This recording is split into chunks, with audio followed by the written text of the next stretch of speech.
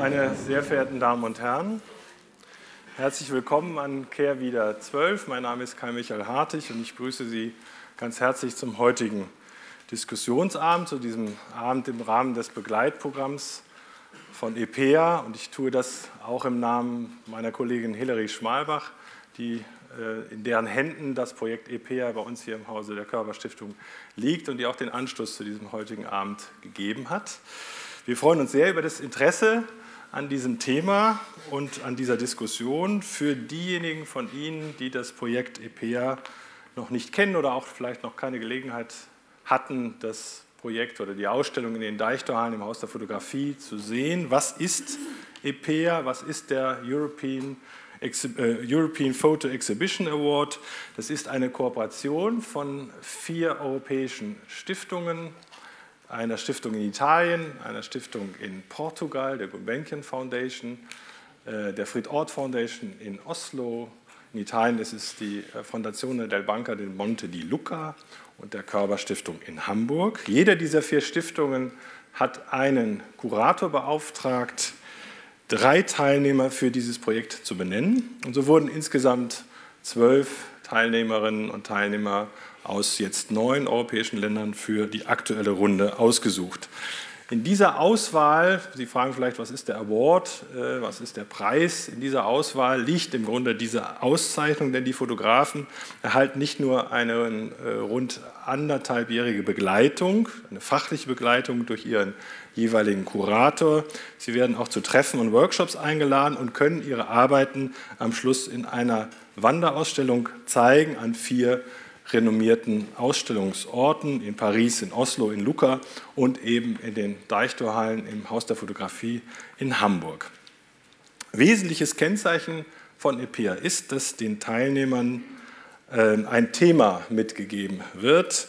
Äh, für die Arbeit der Körperstiftung ist diese Verbindung von den Künsten, in diesem Fall der Fotografie mit gesellschaftlichem Thema, eine lange, ein großes Anliegen, ein langes Anliegen bereits. Schon der Körper Photo Award gab den damals aus dem deutschsprachigen Raum ausgewählten Fotografinnen und Fotografen ein Thema an die Hand.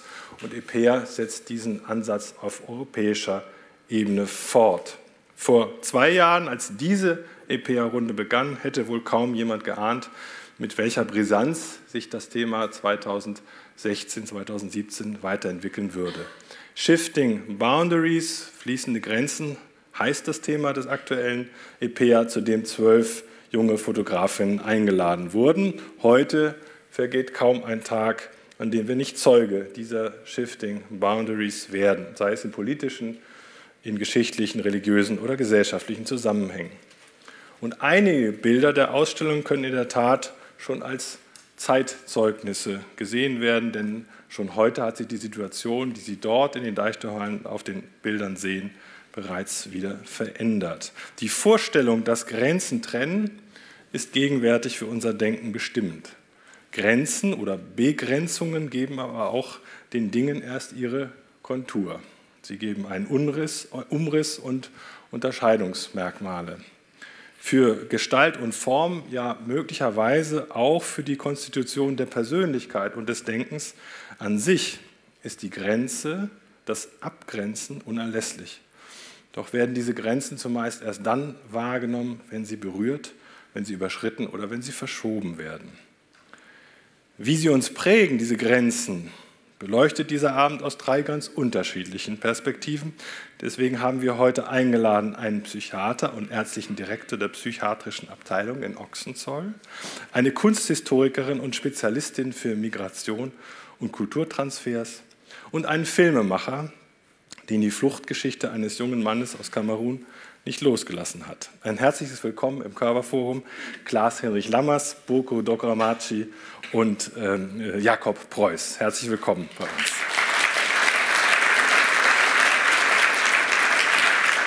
Durch das Gespräch führt heute Abend Elisabeth Burchardt. Sie ist in Wien geboren, lebt seit 2001 in Hamburg und sie arbeitet seit vielen, vielen Jahren im Kunstkontext. Seit Anfang 2016 ist sie zudem Ausbildungskandidatin der Deutschen Psychoanalytischen Gesellschaft in Hamburg. Elisabeth Burchardt war Dramaturgin am Züricher Schauspielhaus, Chefdramaturgin am Staatstheater Schwerin und Kulturjournalistin beim NDR. Sie verfasste außerdem Theaterstücke, Hörspiele und Features. Für die Körperstiftung moderierte Elisabeth Burchardt mehrere Veranstaltungen, darunter Podiumsgespräche im Körperforum zur EPA 2014 und die Diskussion Denken im Raum zum Thema, wie Ausstellungen unser Denken verändern können.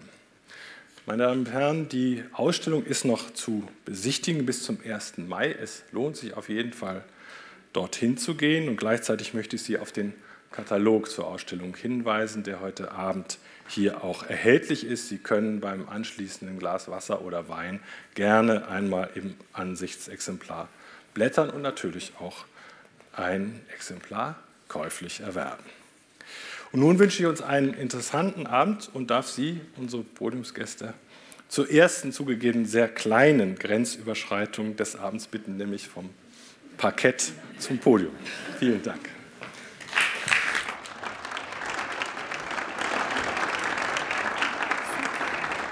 Hier in die Mitte, genau.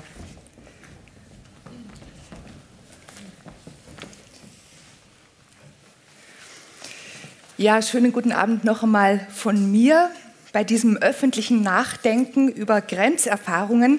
Wir verhandeln dieses Thema vor dem Hintergrund einer Fotografie der ungarischen EPEA-Fotografin Ildiko Peter. Sie setzt sich mit den Grenzen zu ihrem Heimatland auseinander. Auch dieses Foto, das Original, ist noch bis zum 1. Mai im Haus der Fotografie zu sehen.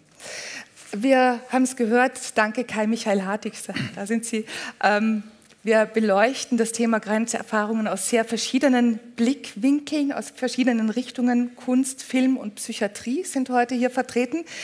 Ähm, ich äh, stelle Ihnen die Gäste gleich noch einmal vielleicht etwas detaillierter vor, möchte Ihnen aber zuerst meinen Ablaufplan bekannt geben. Äh, wir möchten da schon einen Rahmen setzen, damit wir hier nicht ausufern bei so einem großen Thema. Wir werden hier ungefähr eine Stunde miteinander sprechen und dann werden Sie die Gelegenheit haben, Ihre Anmerkungen und Fragen an die Gäste unseres Podiums zu richten. Also merken Sie sich gut, was äh, bei Ihnen anfällt. Äh, unsere Gäste sind für Ihre Fragen offen. Ähm, noch einmal herzlich willkommen, Klaas Hinrich Lammers, Psychiater, Psychotherapeut, ärztlicher Direktor der psychiatrischen Abteilung in Ochsenzoll.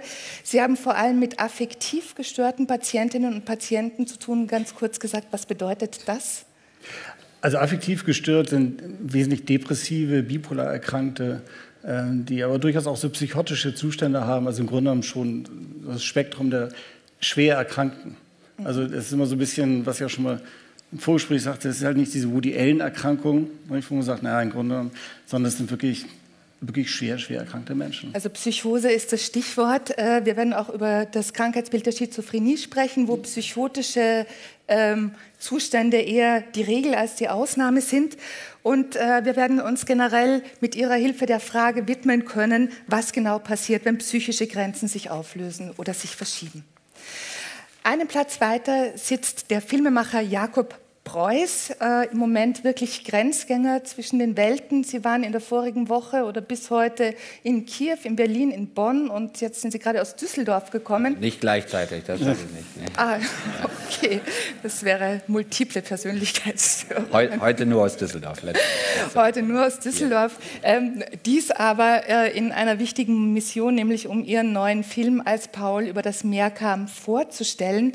Äh, wir werden über diesen Film sprechen. Sie haben da einen jungen Flüchtling äh, begleitet, der aus Kamerun über die Sahara nach Marokko und von dort über das Meer, so heißt ja auch der Film, nach Europa, nach Berlin gekommen ist. Herzlich willkommen, Herr Preuß. Schön, dass Sie auch noch bei uns sind. Und unser nächster Gast ist äh, Professor Burju Dogramaci. Vielen Dank, dass Sie äh, da sind. Sie haben seinerzeit in Hamburg Kunstgeschichte und Germanistik studiert und unterrichten und forschen heute am Institut für Kunstgeschichte der Ludwig-Maximilian-Universität in München. Ihr Schwerpunkt, Herr Hartig hat es schon gesagt, liegt bei der Kunst des 20. Jahrhunderts und der Gegenwart. Und Sie werden uns darüber berichten, in welcher Weise Migration und Exil sich auf künstlerische Produktionen auswirken. Und wir werden auch über den Heimat- und Identitätsbegriff auch in der Kunst sprechen. Äh, Sie haben in Ihren äh, Büchern, die ich mit großem Genuss gelesen habe, sehr kritische Anmerkungen zu nationalen Heimat- und nationalen Identitätsbegriffen. Herr Professor Lammers, wir beginnen bei Ihnen und zwar mit einem Störungsbild, das das Wort Grenze schon im Namen trägt, beziehungsweise Grenzlinie, die Borderline-Störung. Mhm. Es ist wahrscheinlich allgemein bekannt, auch Ihnen bekannt, dass es sich da um eine sehr schwere Störung handelt. Aber lassen Sie uns einmal genauer hinsehen, wo verläuft denn diese Grenzlinie, diese Borderline? Welche Regionen scheidet diese Linie voneinander? Das ist im Grunde eine ganz interessante Frage, weil in der Psychiatrie gab es ein Krankheitsbild, was sich einer, man sich nicht so richtig erklären konnte. Es waren vorwiegend junge Menschen, die ähm, sich selbst verletzten, Suizidgedanken haben, Impulsdurchbrüche hatten, manchmal auch in so quasi psychotische Zustände abglitten, also Realitätsverlust hatten, aber dann doch nicht so richtig, dass man nicht wusste, haben die es eine Schizophrenie? Und man sagte, nein, haben sie nicht. Haben sie eine Neurose? Nein, ist es auch nicht. Und irgendwann hat man gesagt, das sind Menschen, die auf der Grenze zwischen diesen Neurosen, mhm. können wir gleich noch darüber sprechen, was das ist, und der Psychose sind. Und diese Grenze ist im Grunde genommen ganz entscheidend, weil psychotische Zustände zeichnen sich aus durch Realitätsverlust. Mhm. Das heißt, man kann nicht mehr eine richtige Grenze zwischen seinen eigenen Fantasien, seinen eigenen Ängsten, seinen, seinen eigenen Gedanken und der Umwelt ziehen. Mhm. Und das ist im Grunde genommen die schwerste psychische Erkrankung, die man haben kann. Und Borderline ist halt eben mittlerweile eine Persönlichkeitsstörung, wo man sagt, die ticken diese Grenze an, aber kippen dann doch nicht auf die andere Seite. Also sie, sie, kurzfristig sind Sie auf der anderen Seite, kehren aber wieder zurück, wenn ich das. Äh genau. Ich meine, kurzfristig kann jeder Mensch in einem psychotischen Zustand mhm. umkippen. Das haben viele schon erlebt bei einer schweren Grippe oder bei schweren, ähm, äh, gerade Fiebererkrankungen. Da kommt man in Zustände, wo auf einmal nicht mehr weiß, träume ich jetzt, ist Realität. Im Nachhinein denkt man, mein Gott, da war ich aber schon mhm. neben der Spur, wie man so schön mhm. sagt. Aber im Grunde genommen, und das ist das Entscheidende bei dieser Grenze, ist, ob ein Mensch jederzeit sagen kann, ich habe die Kontrolle. Ja.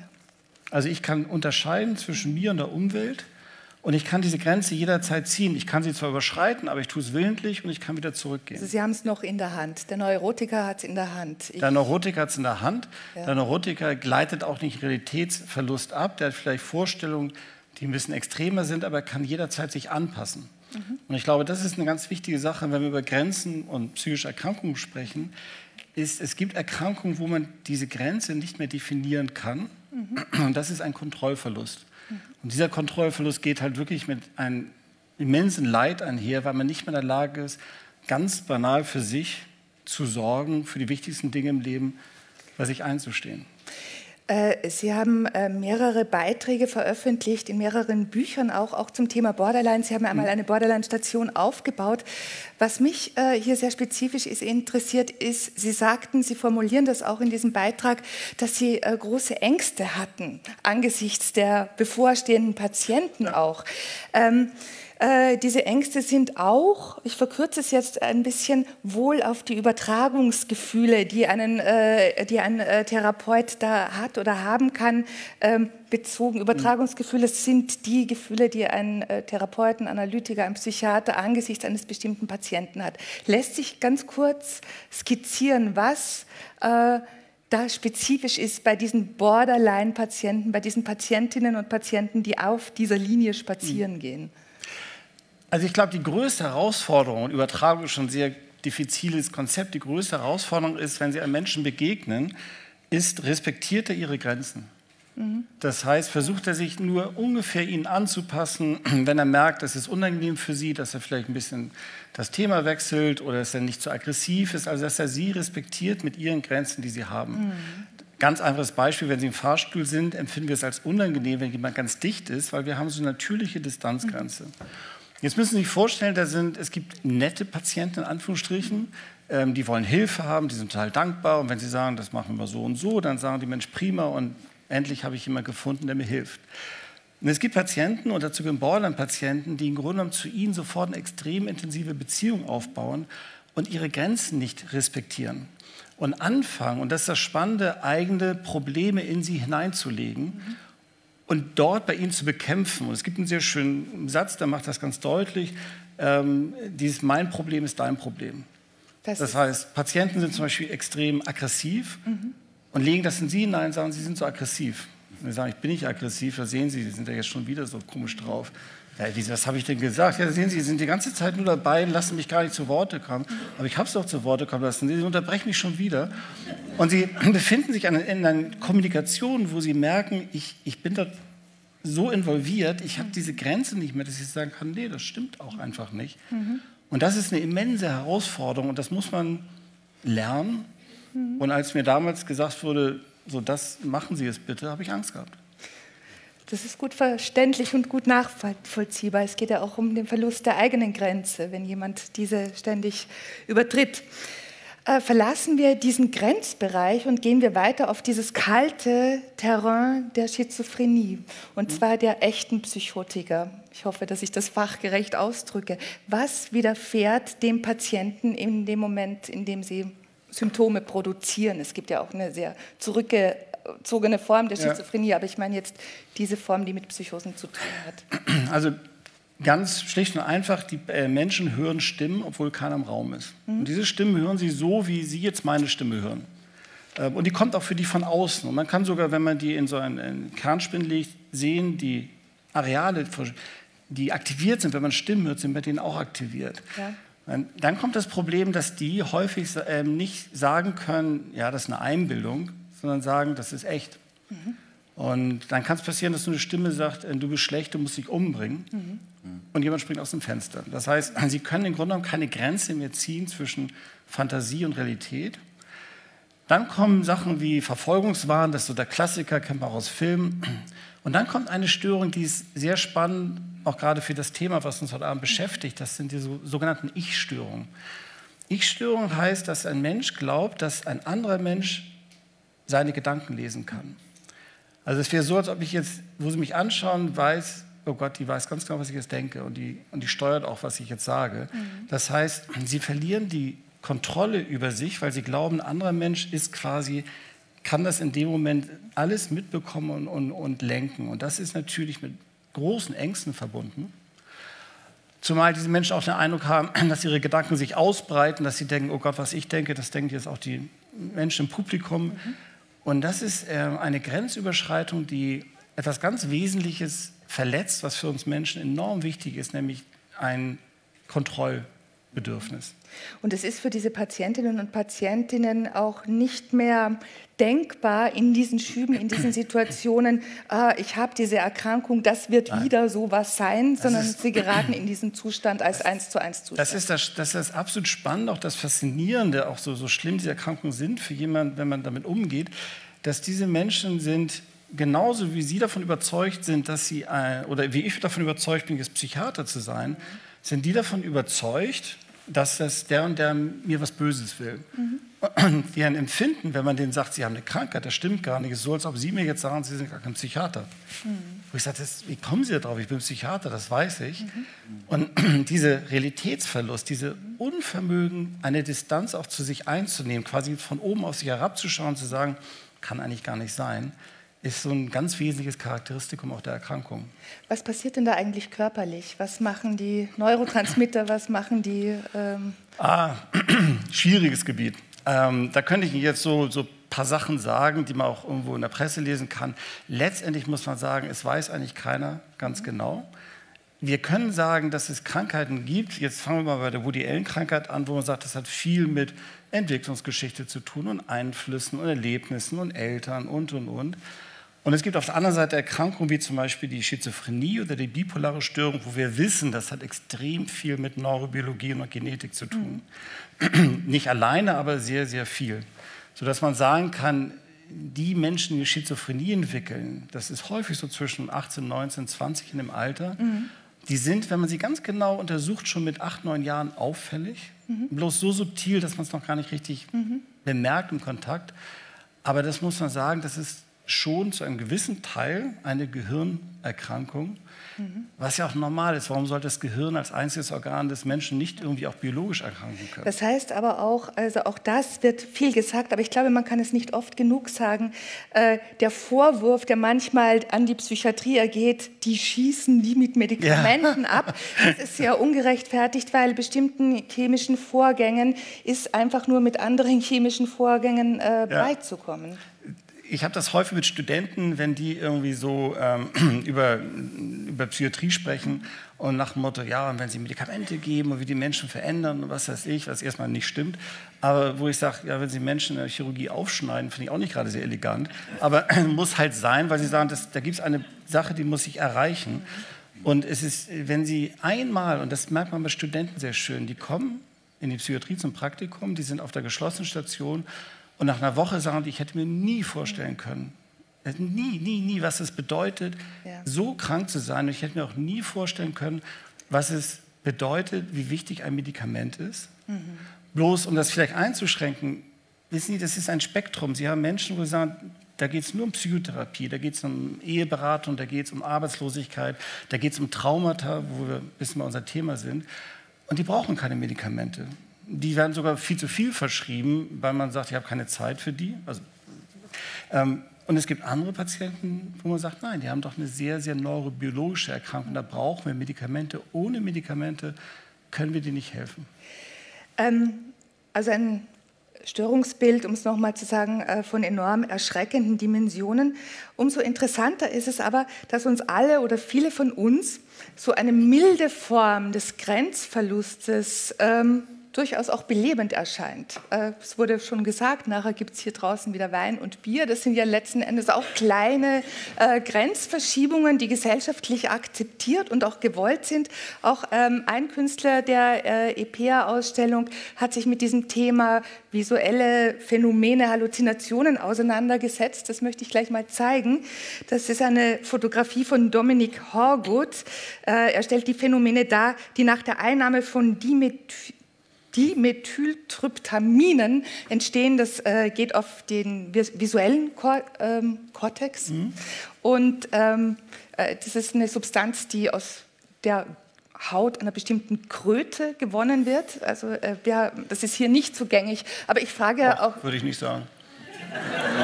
der, der Hauptbahnhof ist nicht weit entfernt. Aber die Agarkröte? Ach, da müssen wir lange noch fragen. Also irgendjemand wird das schon haben. Irgendjemand hat schon so eine Agerkrötenzucht zu Hause. Also ja, mag sein, also ich bin da tatsächlich nicht äh, so im Feld. Das kann ja noch werden. Herr Professor Lammers, ähm, ganz allgemein äh, gefragt, was interessiert, was fasziniert uns so am Rausch, an Räuschen aller Art, an der Grenzüberschreitung, an der Erweiterung dessen, was wir mit unserem, in, in unseren sogenannten Normalzuständen erleben und sehen?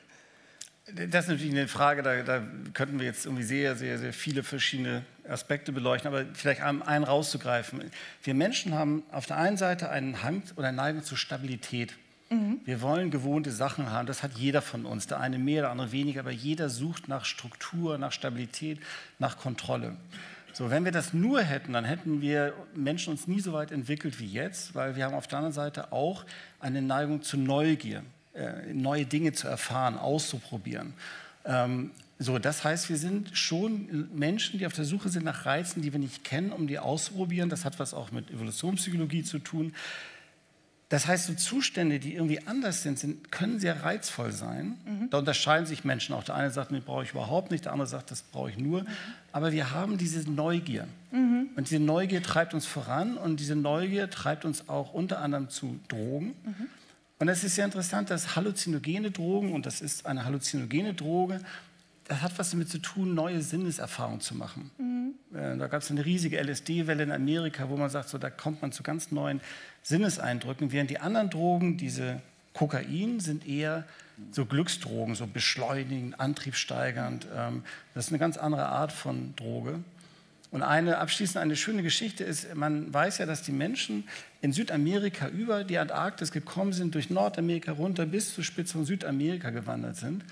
Und man kann an einer bestimmten Genvariante im Gehirn nachweisen, dass die, die eher neugierig sind, sind, die findet man viel häufiger unten im Süden von Amerika als oben im Norden. Das heißt, wir Menschen unterscheiden uns schon in unserem Trieb, neue Zustände zu suchen. Und das sind halt die Menschen, die dann auch wirklich neue Entwicklungen vorangetrieben haben und dann ah, ja. auch bis Südamerika runtergekommen sind. Apropos neue Entwicklungen vorantreiben, Sie geben mhm. mir ein Stichwort, nämlich das Thema ähm, Genie und Wahnsinn und Kunst und Wahnsinn. Mhm. Auch ein Zusammenhang, der sehr gerne und sehr häufig äh, hergestellt wird. Schon Aristoteles sagt, es gibt kein großes Genie ohne einen Schuss von Wahnsinn. Und Hermann Hesse, Hermann Hesse sagt, äh, so wie die Verrücktheit in einem höheren Sinn der Anfang aller Weisheit ist, so ist Schizophrenie der Anfang aller Kunst, aller Fantasie. Ich weiß auch nicht so recht. Herr Professor, Herr Professor Lammers, was ist denn Ihrer Meinung nach dran an der Idee, dass Kunst und Wahn oder Genie und Wahn die gleichen Wurzeln haben? Tja. Also, ähm, ich glaube, mit meinem beschränkten Fachwissen eigentlich jetzt um, um, Künstler. Ich glaube nicht, dass man als Künstler davon profitiert, wenn man wirklich eine Psychose hat.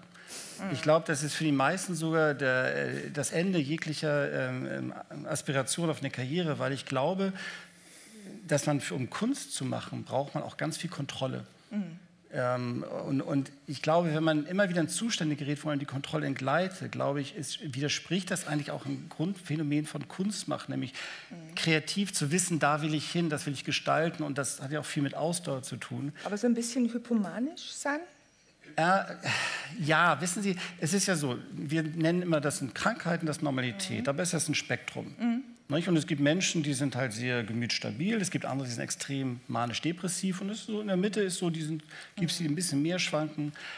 Ich glaube, aber das ist jetzt wirklich sehr, sehr oberflächlich. Ich glaube, von äh, um einen Künstler zu haben, der von so einer bipolaren Erkrankung profitiert, mhm. haben Sie vielleicht 500, die deswegen eben nicht Künstler haben werden können, weil sie die Erkrankung haben. Ja. Und ähm, ich hatte das ja schon im Vorgespräch äh, mal erwähnt, es gibt ein faszinierendes Buch, wo man wirklich mal merkt, was es heißt, krank zu sein. Das von einem Literaten, Thomas Melle, der hat ein Buch geschrieben, das nennt sich mit dem, Die Welt im Rücken. Welt im Rücken, ja. Und er schreibt von seiner bipolaren Erkrankung und er schreibt auch von seinem Abstieg durch die Erkrankung. Ja. Und ich glaube, wenn man das gelesen hat, merkt man, dass wirklich psychisch krank zu sein, also nicht Woody Allen-mäßig, sondern wirklich psychisch krank zu sein, ist etwas, was dann eher verunmöglicht, wirklich Kunst zu machen. Es gibt immer Ausnahmen.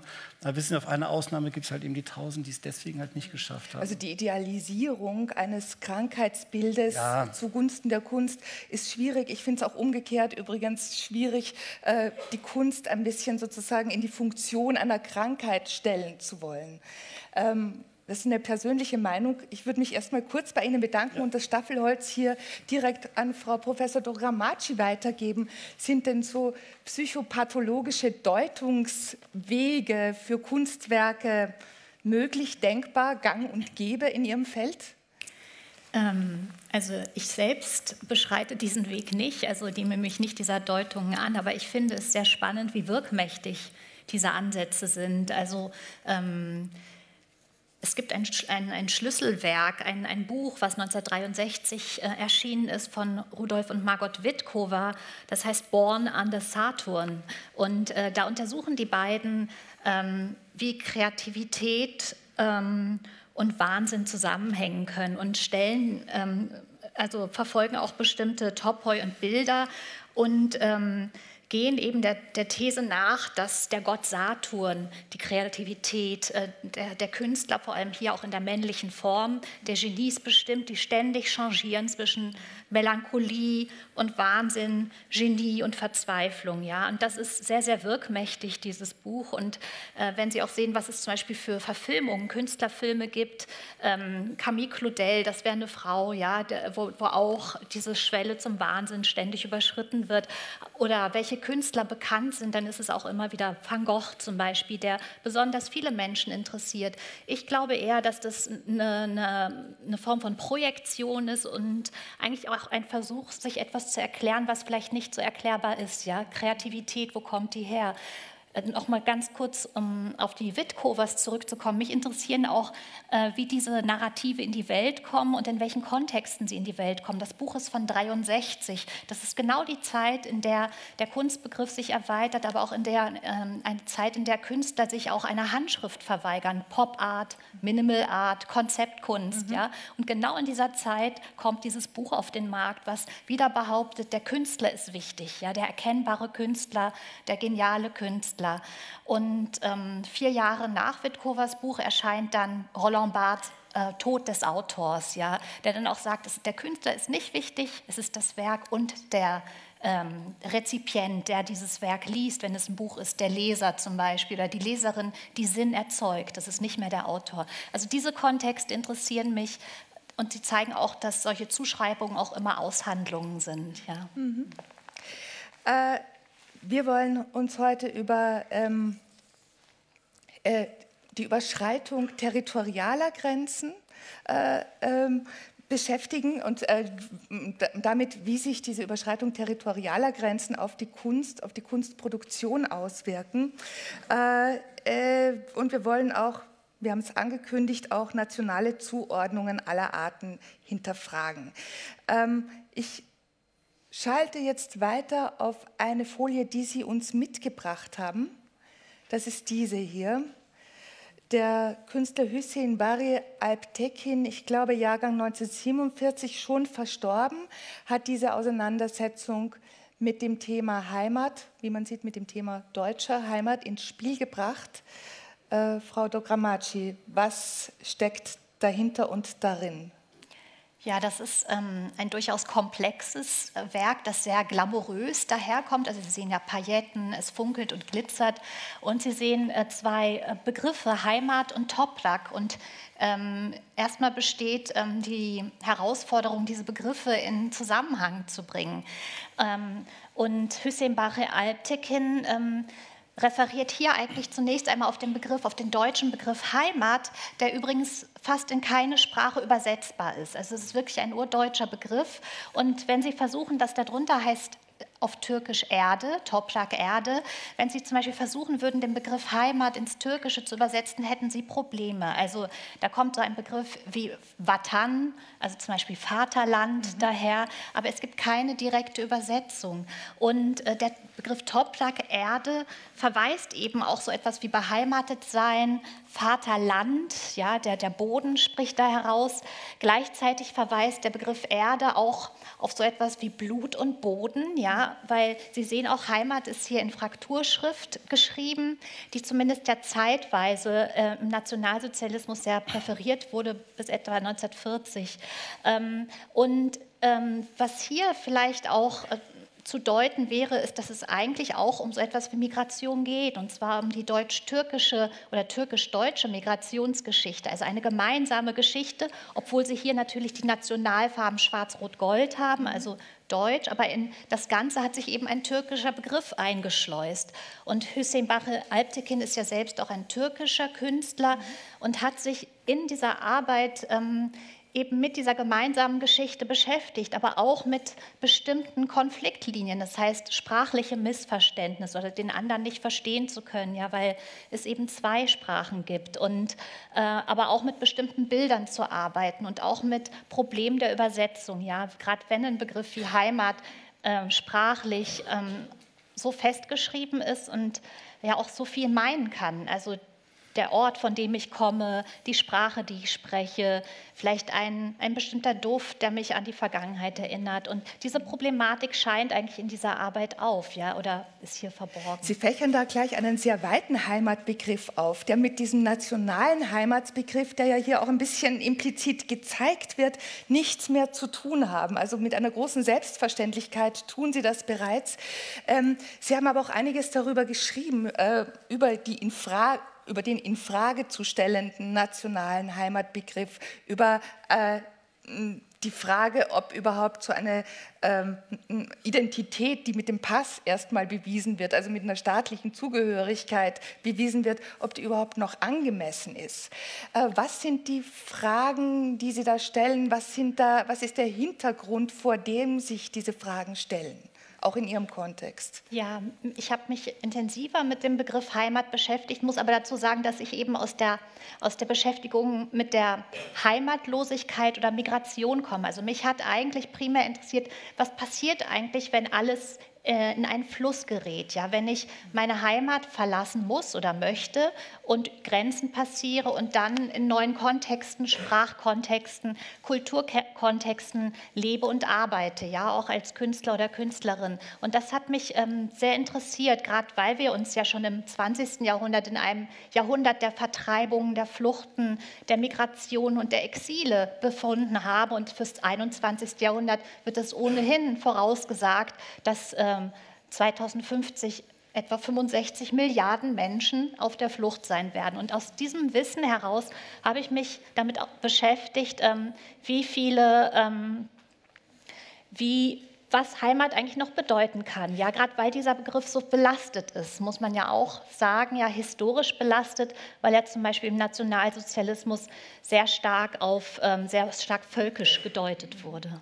Nochmal zu diesem nationalen Ordnungsbegriff Heimat. Sie führen das auch an, sehr humorvoll in ein, ja, es liest sich humorvoll tatsächlich, dass es auch in Museumsordnungen noch immer die staatlichen Ordnungen gibt. Also sagen wir mal äh, Richter neben Polke, äh, neben Ölen, neben, also die deutschen Künstlerinnen und Künstler zusammen, die Italiener, die flämischen Künstler. Das ist auch eine Praxis, äh, die offenbar ähm, ja, noch, noch ihr Ende nicht gefunden hat und vermutlich auch länger noch nicht finden wird.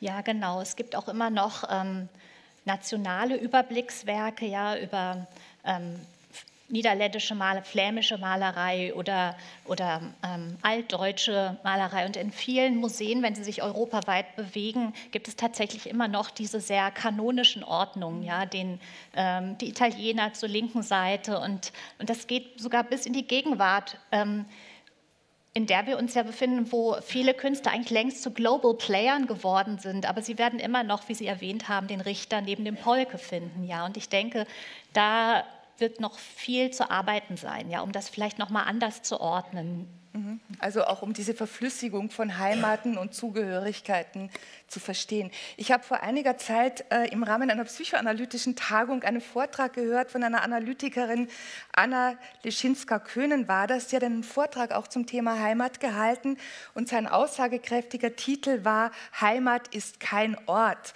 und sie erwähnt darin Migration als Chance zur Verflüssigung des Festen. Und ähm, ich musste wieder an dieses Bild der Verflüssigung des Festen denken, und zwar angesichts der nächsten Künstlerin, die Sie uns vorstellen.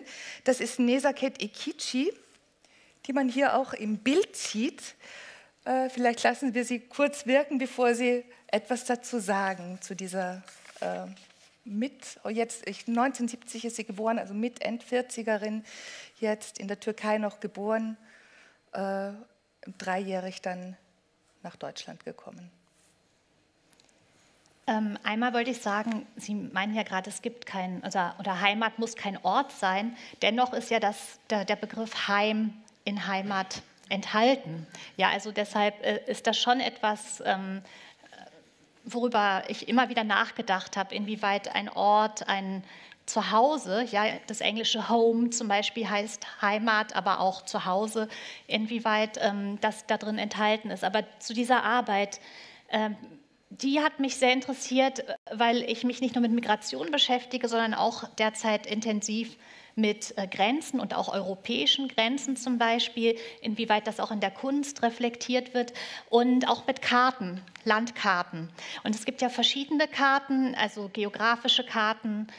Ähm, oder physikalische äh, Karten, die sich zum Beispiel eher Gewässern auf der Welt widmen oder auch politische Karten und die zeigen Grenzverläufe von Staaten. Ja, das ist ganz wichtig, sich das nochmal zu vergewissern und äh, äh, nochmal vor Augen zu führen. Und hier bei Nesaket Ekice fand ich sehr spannend, dass sie von biografischen Kartierungen ausgeht. Das heißt, das ist eine Performance und sie hat sich dorthin gestellt und gemeinsam mit den Zuschauerinnen und Zuschauern, die man jetzt nicht sieht, äh, eine Karte entworfen. Sie hat all die Orte, an denen sie jemals gearbeitet hat. Sie reist sehr viel, wie sie auch. Sie reist sehr viel umher und arbeitet international. Hat sie markiert durch ähm, ähm, durch Nägel, die sie einschlägt und fragt die Zuschauer auch immer, wo ist von hier aus gesehen ungefähr Rom oder wo ähm, ist New York? Und dann schlägt sie dort einen Nagel ein und verbindet diese verschiedenen Orte, an denen sie war, mit einem Faden, mit einem roten Faden. Und das ergibt eine ganz besondere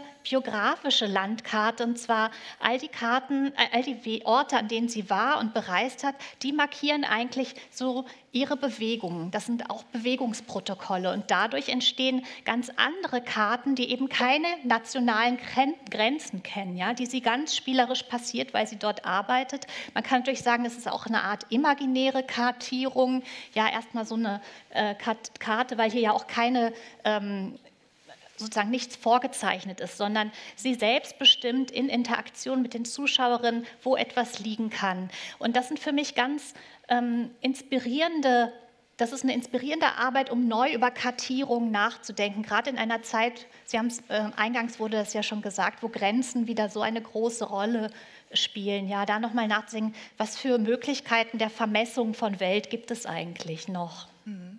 Und auch die Frage natürlich, wo gehöre ich eigentlich hin? Also ich habe mit der Sarket Ekice auch ein Gespräch über Heimat ähm, geführt und sie hat eben gesagt, sie fühlt sich eigentlich nicht nur einem Ort zugehörig. Es gibt da zwar, Sie sehen das, so einen Ausgangspunkt rechts, da beginnt alles, ja, das ist, könnte dann Berlin sein, da lebt sie, aber letztlich arbeitet sie so global, dass sie sich nicht festlegen möchte auf einen Aber Ort. sie sagt auch um, auf ihr Wort von Heimat ist doch ein Ort, also Sie ja. hatten das ja vorher kurz in Frage gestellt, dieses, diesen Satz von Heimat ist kein Ort. Sie sagt dann tatsächlich im Zitat in diesem Gespräch, das ich auch gelesen ha habe, äh, wahrscheinlich kann jeder Punkt, an dem ich gerade bin, Heimat sein. Mhm. Und das ist dann halt immer woanders, was wiederum äh, für mich dieses Bild der sich verflüssigenden, dieses sich ähm, auflösenden und immer weiter wandernden Heimat äh, bestärkt, in meinem Verständnis zumindest. Ähm, Sie sagt noch etwas, das fand ich interessant. Sie sagt, äh, sie möchte nicht als migrantische Künstlerin abgestempelt werden. Äh, sie sagt, äh, das grenzt aus. Man wird für bestimmte Ausstellungen, zum Beispiel über Deutsch, Türken und Migranten, dann immerzu eingeladen und das würde sie nicht so besonders interessieren. Offenbar muss man da schon auch ein bisschen sehen, dass man mit diesen migrantischen Künstlern nicht schon wieder eine eigentlich nationale Kategorie erschafft oder eine, die einer nationalen Kategorie sehr ähnlich ist. Also ist dann nicht deutsch, französisch, sondern migrantisch. Und für mich scheint das ein Hinweis darauf zu sein, dass wir diese Verflüssigung von Begriffen, gerade des Heimatbegriffes oder des Nationalbegriffes, sehr schwer aushalten. Also es scheint immer wieder vom Flüssigen ins Feste zurückkippen zu wollen. Hm das Belegen mit bestimmten Begriffen. Es gibt ja auch in der Literatur, zum Beispiel gab es die Gastarbeiterliteratur, dann war es die Migrantenliteratur, jetzt ist es zum Beispiel auch die deutsch-türkische oder die deutsch-iranische Literatur, eine Bindestrich-Identität sozusagen, äh, ist auch ein Labeln, um tatsächlich auch nochmal bestimmte Kategorien aufzumachen und es hat auch natürlich was mit Ex Exklusion und Inklusion zu tun. Das heißt, Deutsch bleibt dann auch wirklich Biodeutsch, also geboren Deutsch. Und das äh, ist auch sehr deutlich erkennbar an ähm, der Präsenz dieser, dieser und anderer Künstler und Künstlerinnen, zum Beispiel in ständigen Sammlungen. Ja, gerade wenn wir über solche Kategorien wie äh, deutsche Künstler, deutsche Kunst sprechen, ähm, gibt es auch Probleme, diese Künstler und Künstlerinnen einzuordnen. Also weil Nezaket Ekicis zum Beispiel in die ständige Sammlung des Istanbul Modern aufgenommen als türkische Künstlerin, obwohl sie die meiste Zeit ihres Lebens gar nicht in der Türkei gelebt hat. Ja, aber da wird wieder nach sowas wie Herkunft gesucht. Das Phänomen Migration, Asyl und Exil ist keines, das nur unser Jahrhundert betrifft. Es betrifft was unser Geschichtsverständnis oder Interesse betrifft, sehr stark das vorige Jahrhundert. Und zu diesem Thema gibt es noch eine letzte Folie von Ihnen, die betrifft den Architekten Bruno Taut, der nun eine andere Bewegung vollzogen hat, nämlich aus Deutschland Richtung Türkei. Er ist 1880 geboren, Königsberg, wirkte stark in Berlin und ging dann mit äh, der Machtergreifung Hitlers, ging er, ich glaube, 1933 äh, erst nach Japan, dann in die Türkei. Frau Dokramaci, bitte. Genau, also da äh, mich interessiert sowieso, ähm, welche Geschichte Migration auch hat. Ja, also um auch von diesem singulären des Ereignisses ähm, wegzukommen, dass wir sagen, oh je, Ende 2015 brach eine riesige Fluchtbewegung über uns herein, aber jede Fluchtbewegung hat eben auch ihre Geschichte und auch eine Geschichte, die vielleicht genau in eine andere Richtung weist. Und zwar gerade in der Zeit des Nationalsozialismus haben viele, viele Künstler und Künstlerinnen Deutschland verlassen müssen und haben Europa verlassen müssen und sind in die Welt gegangen. Also da haben wir einfach eine Fluchtbewegung weg von Europa und nicht nach Europa.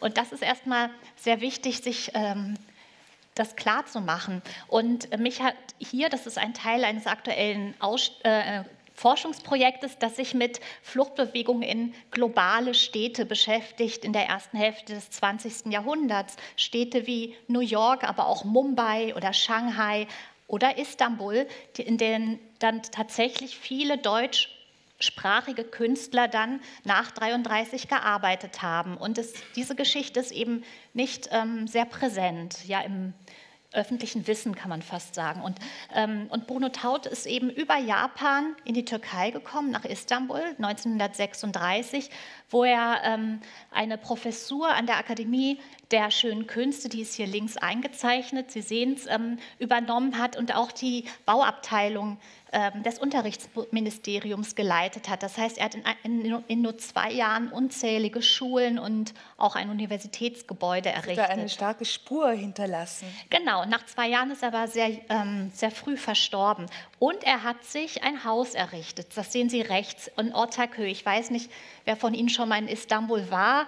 Ähm, hier ist ja besonders herausfordernd ähm, die Stadttopographie und auch sehr spezifisch. Und mich interessiert bei diesem Vorhaben auch, wie ankommende Künstler und Künstlerinnen auf diese Städte reagiert haben, die ja wirklich unterschiedliche ähm, genau Topografien aufweisen, Klima, in unterschiedlichen Klimazonen liegen. Und äh, mich hat da sehr fasziniert, wo Taut sein Haus errichtet hat. Und zwar nicht im damaligen Zentrum Istanbuls, also auch nicht dort ähm, in der Nähe der Akademie, das sehen Sie hier, und auch nicht, wo sich viele andere ähm, deutsche oder europäische Künstler angesiedelt haben im Viertel Galata oder Bayole, sondern relativ weit außerhalb für damalige Verhältnisse in Ortaköy, aber direkt am Wasser. Und Sie sehen rechts oben sein Haus, was er sich entworfen hat, was eigentlich kein, keinen Vergleich bietet zu ähm, historischen Bauwerken in Istanbul. Ja? Also äh, Sie werden sich vermutlich alle schwer tun, da etwas Genaues zu erkennen.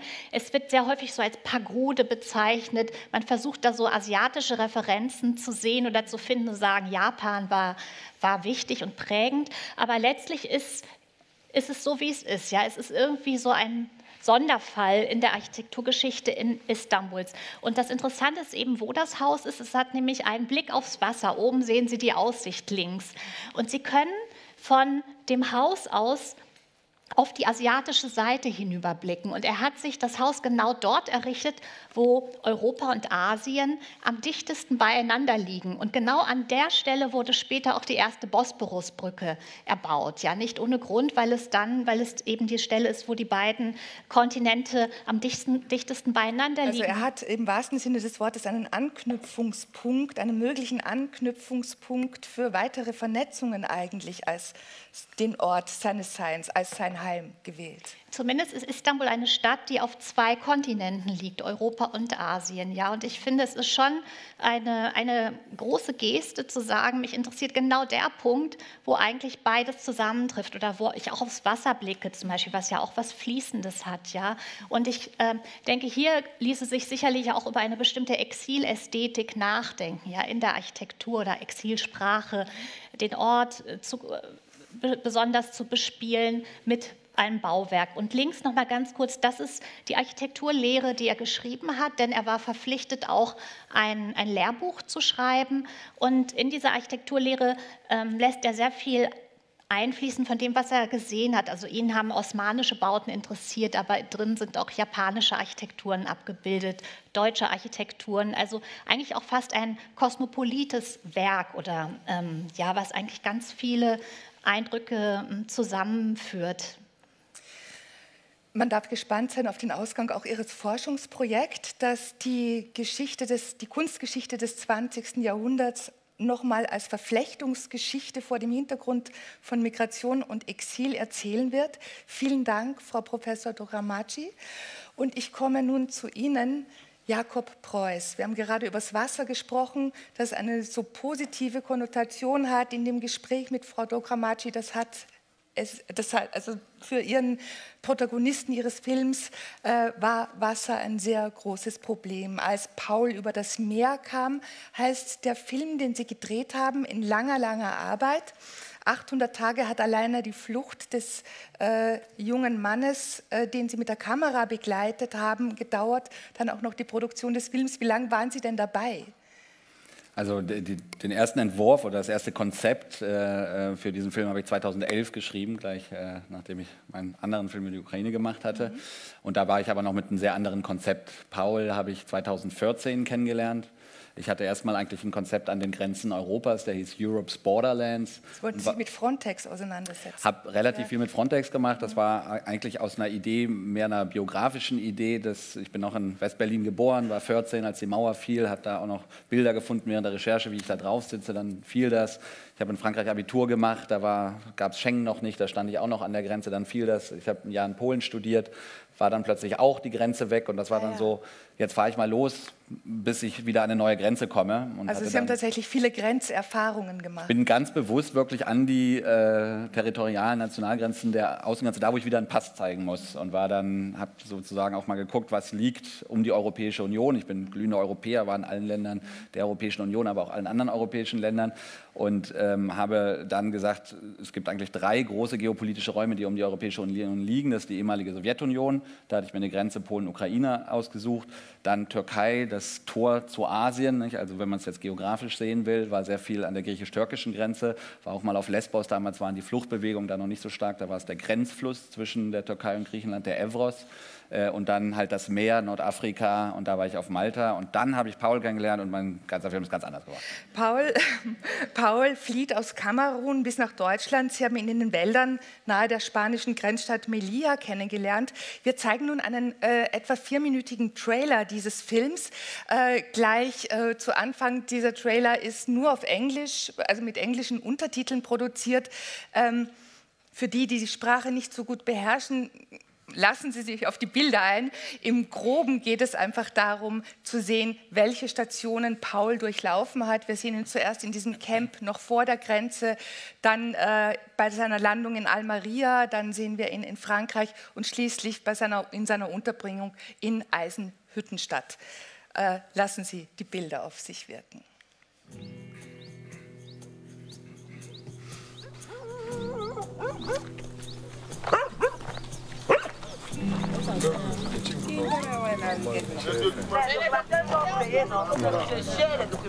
Ici, le but c'est quoi? C'est comme pour notre vécu quotidien. Hein? On prend ça. Pour, bien sûr, c'est pour notre bien. On veut nous envoyer un en nous filmant. Mon frère Pourquoi pas? Bon, je sais qu'actuellement c'est soudé, c'est un peu compliqué, c'est dur, mais. L'entrée est difficile? L'entrée est difficile, mais l'Africain est très fort et réfléchi. Nous entrerons. Le papa décédé. Et vous savez de quoi il est décédé De suite de maladie, par manque de médicaments.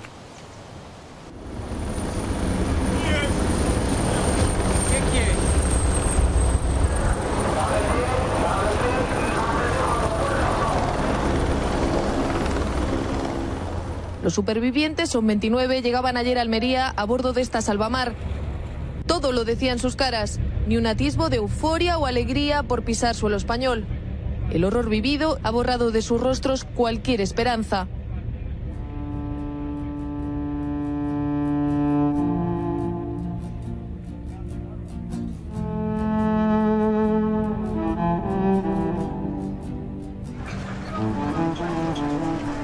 Paul didn't apply for asylum in Spain. If he had, he wouldn't be in detention. Anyone who is not deported within 60 days has to be released ordered to leave the country without a residency permit. In the camp, they say Cameroon doesn't take people back. But can they be sure? Ah, quelqu'un je connais quand même. Ça va, comment tu vas bienvenue. Je suis content de te voir. si tu dis quelque chose, ça pourrait peut-être étonner. D'accord. Quoi donc c'est-à-dire que je souhaitais rester dans un milieu où il y a très peu de noirs, peut-être, ça t'étonnerait, non? C'est mon souhait. Je sais qu'en Allemagne, il y a des endroits comme ça, beaucoup où on ne trouve même pratiquement pas de noirs.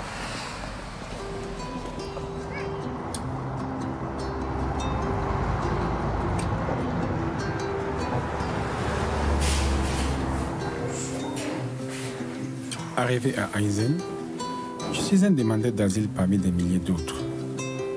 Jacob va partir. Je dois désormais me débrouiller seul en Allemagne. Un nouveau challenge.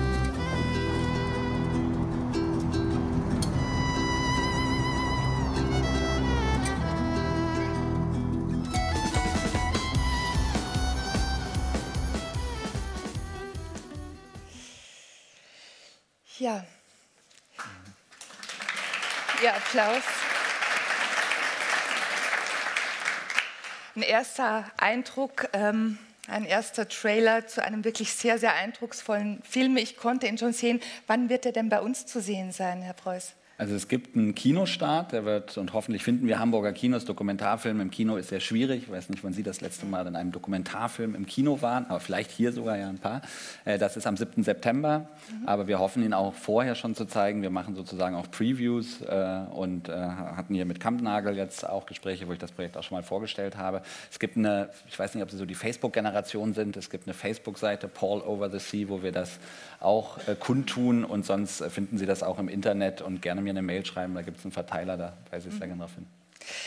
Was wir jetzt hier im Hintergrund sehen, ist dieser Zaun von Melia, der ja wirklich etwas sehr Monumentales, etwas sehr Großes hat. Das haben ja diese Grenzwälle nun einmal an sich seit der Stadtmauer von, Stadtmauer von Jericho, chinesische Mauer, Berliner Mauer, jetzt das große amerikanische 3000 Kilometer Projekt soll ja auch so etwas Monumentales haben. Was ich faszinierend finde, ist, dass offenbar kein Hindernis, keine Mauer, kein Zaun hoch oder groß genug sein kann, um nicht Menschen doch in das Wagnis zu locken, sie zu überwinden. Sie haben auch hier äh, Menschen beobachtet, wie sie diese Mauer äh, überwunden haben, und zwar nicht äh, rundherum gegangen, sondern wirklich buchstäblich überwunden. Mit welchen Taktiken machen diese Menschen das? Also als erstes muss man leider sagen, das verhindert schon eine ganze Menge. Nicht? Also so einen Zaun kann nicht jeder überwinden. Das können nur junge, äh, gesunde, sehr athletische äh, Männer. Das sind in den diesen Zaun gibt es jetzt in der Weise so 15 bis 20 Jahre. Das ist auch ein spanischer Polizist, mit dem ich da am Zaun bin. Mir war wichtig, auch auf die andere Seite zu gehen, mit Grenzschützern zu reden. Die Spanier zeigen einem das sehr, also die sagen, das ist auch euer Problem. Das ist nicht gerade schön, dass wir hier die Leute von den äh, Zaun schlagen müssen. Also diese Sache immer, man kann keinen Zaun hoch genug bauen, dass die Leute nicht rüberkommen, das ist irgendwo richtig, aber es ist auch irgendwo falsch. Also ein Zaun kann schon eine ganze Menge Sachen verhindern und auch die Berliner Mauer hat eine ganze Menge Sachen verhindert. Also das kommt mir manchmal so ein bisschen banal. Nicht? Also wir können noch so viele Zäune bauen. Nein, und deswegen ist es so wichtig, dass wir keine Zäune bauen, weil es verhindert eine ganze Menge. Das ist eine Selektion, das sind äh, junge Männer, die todesmutig sind. Es sterben auch immer wieder Leute dabei. Es versuchen die Leute oft bis zu zehnmal. Mein Protagonist zwar auch ein Mann, gar nicht so jung, war schon Mitte 30, mhm. hat gleich gesagt, das mache ich nicht, das ist mir zu brutal. Zu ich nehme lieber das Risiko über das Meer, das mhm. ist auch nicht geringer. Bei seiner Überfahrt sind die Hälfte der Menschen umgekommen. Er hat großes Glück gehabt, dass er noch lebt. Mhm. Ähm, aber er hat gesagt, ich lasse mich nicht auf diesen Nahkampf ein, weil das gibt es wirklich Szenen an diesem Zaun, äh, äh die sind unglaublich. Trotzdem nochmal die Frage, mit, welchen, ähm, ja, mit welcher Taktik gehen diese Leute direkt auf dieses äh, monumentale also Hindernis? Das, das wäre jetzt wirklich wie, wie, wie wenn wir über Taktik, wie spiele ich Fußball, das ist äh, sehr ausgeklügelt. Also die Menschen, die am Zaun leben, äh, in dem Wald, der recht nah ist. Ja. Sehr interessant, auch wenn wir über Grenzen, nationale Zugehörigkeit reden. Diese Camps sind sehr nach Nationalitäten sortiert. Mhm, das, das fand ich ein ganz interessantes Phänomen, dass also auch äh, die Menschen, die jetzt migrieren, ein ganz starkes Zugehörigkeitsgefühl haben. Erstmal, ich bin Kameruner, ich bin, äh, komme aus Nigeria, äh, aus Mali. Innerhalb der Communities ganz oft nochmal eine Stammeszugehörigkeit, Religion spielt eine Rolle. Erde. Also das ist eine Sache, die anscheinend die Menschheit schon sehr, äh, sehr prägt. Auch da die Grenzziehung. Auch da die Grenzziehung, also ich fand das Einleiten schon sehr interessant. Ich glaube, das ist auch ein menschliches Bedürfnis. Ich glaube, wie, dann ist die große Frage, wie gehen wir damit um? Wie durchlässig ist das? Wie sehr zwingen wir Sachen auf? Wie sehr lassen wir Sachen zu?